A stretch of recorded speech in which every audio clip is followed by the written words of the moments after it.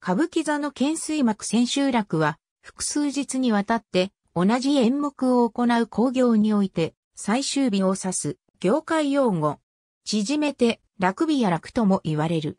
本来は、江戸期の歌舞伎や大相撲における用語だったが現在では、広く演劇や工業一般で用いられている。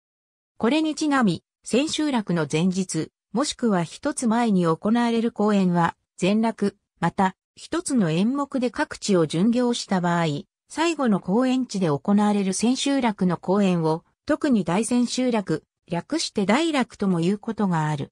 千秋楽など、異体字での表記は、秋の文字にある、ヒヨインで、同音にもなる、音符画面に置き換えたものである。これは、江戸時代の芝居小屋は特に出荷や炎症に悩まされることが多かったための忌避である。千秋楽の語源は諸説あるが、雅楽を演奏する際、1日の最後の曲には、祝言の意味から必ず千秋楽を演奏したという古い風習能の不祝言において、高砂切りの千秋楽は民を、なでいかが歌われることが多かったためとする説が一般的である。いずれにしろ地口の一種であり、雅楽や脳の曲目と直接の関係があるわけではない。工業の中で、初日、中日、千秋楽の3日が特に重要な日として考えられており、出演者が互いに楽屋を訪れ挨拶するなどの習慣がある。現在では、儀礼が簡略化され、中日の挨拶などは略されることが多いが、初日と千秋楽は重要視されている。歌舞伎や商業演劇のように、一座の座頭や花形役者が明確に決まっている場合、下回りの役者に対して座長が振る舞いをする習慣もある。工業における一座の一体感を確認し、共に一つの舞台を作り上げてきたことを喜び合う。日として、千秋楽は独自の意味を持っているといえ、商業的な演劇でなくともこの日にいわゆる打ち上げが行われることも多い。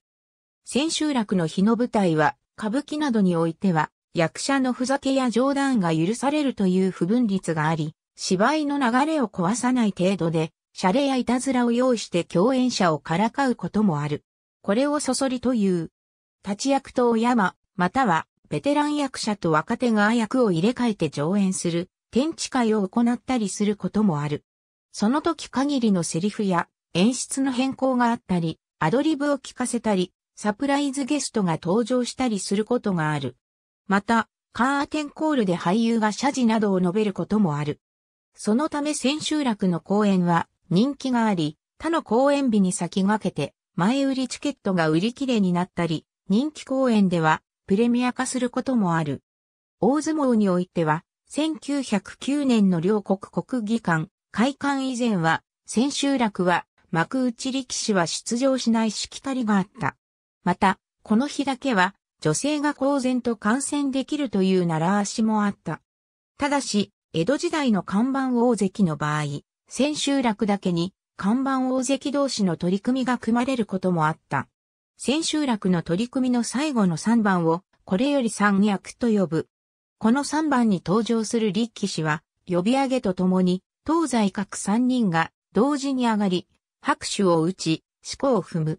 この所作を三役揃い踏みと呼ぶ。詳細はこれより三役を参照。ありがとうございます。